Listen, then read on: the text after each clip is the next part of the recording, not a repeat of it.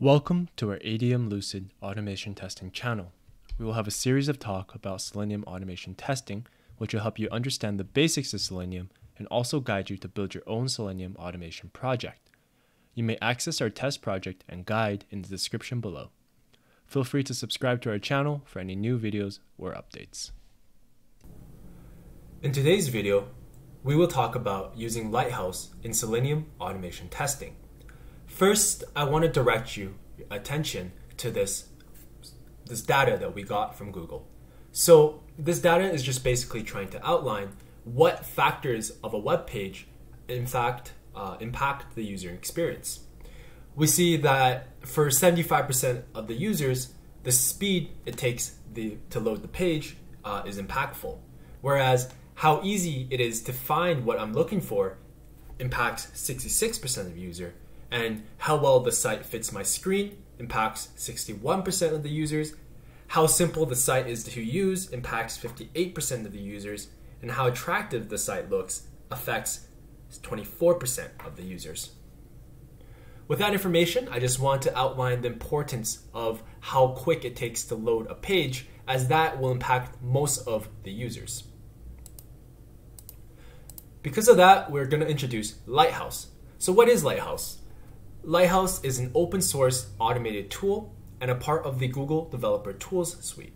It is designed to improve the quality and performance of web pages by providing audits, insights, and diagnostics.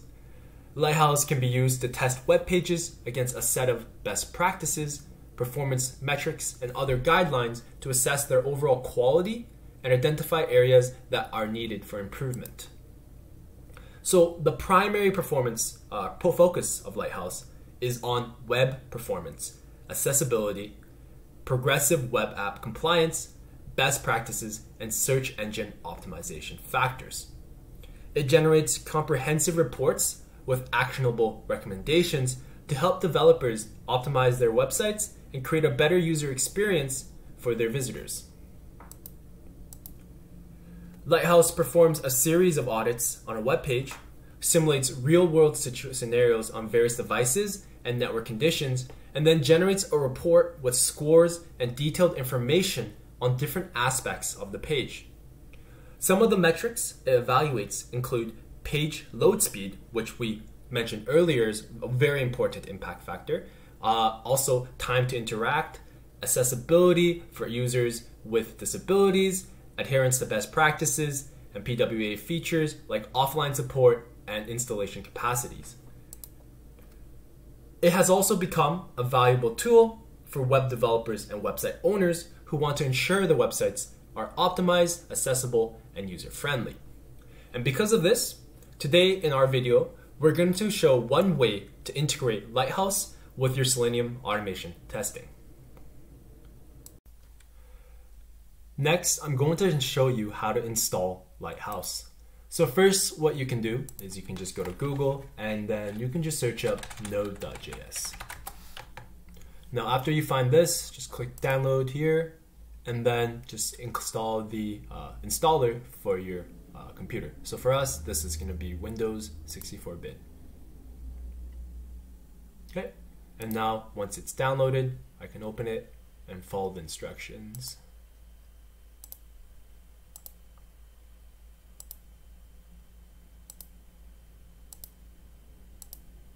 So I'm going to install Node.js first.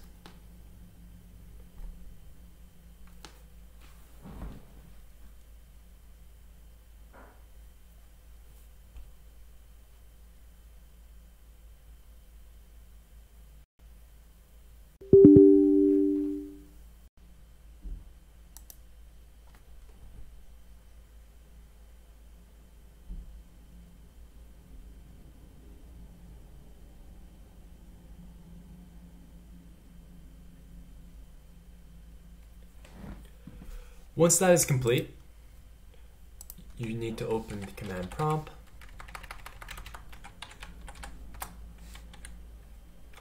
And I'm going to do type in npm install npm and enter. So now that's going to take some time to install.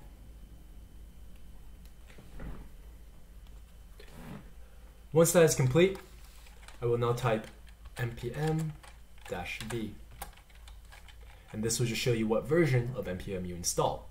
Now, with npm, you can install Lighthouse. So just type in npm install dash g Lighthouse.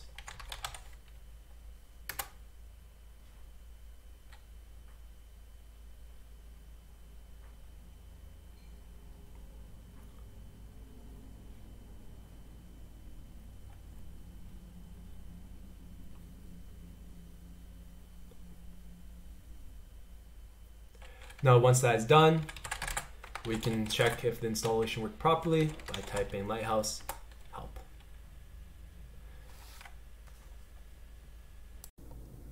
Next, I will show you how to integrate Lighthouse into your Selenium automation test project.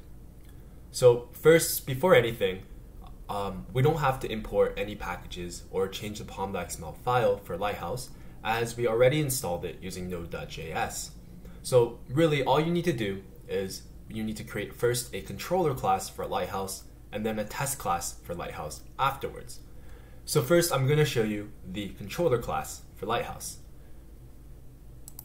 So we have the controller class for Lighthouse right here. And under this controller class, uh, we have a few things that I want you to notice.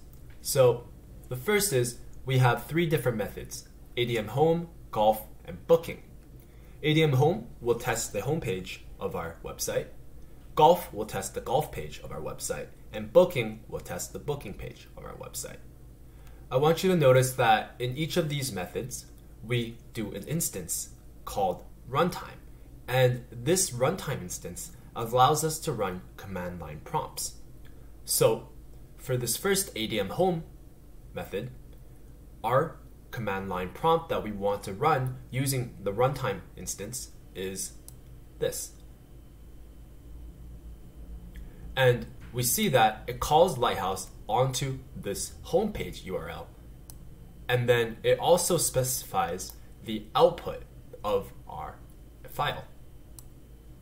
Similarly, for the golf one, we have a similar command, except the URL is now the golf page, and the output is now golf.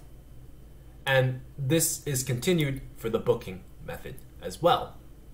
So now we can go to the testing class. So we can take a look at the testing class, which we have here, Lighthouse Chrome.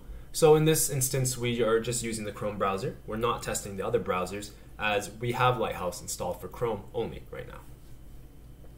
So within this testing class, we see that we call upon the three different methods for that object and we have ADM home, golf, and booking, and it will test all three. So now I can just go ahead and run this.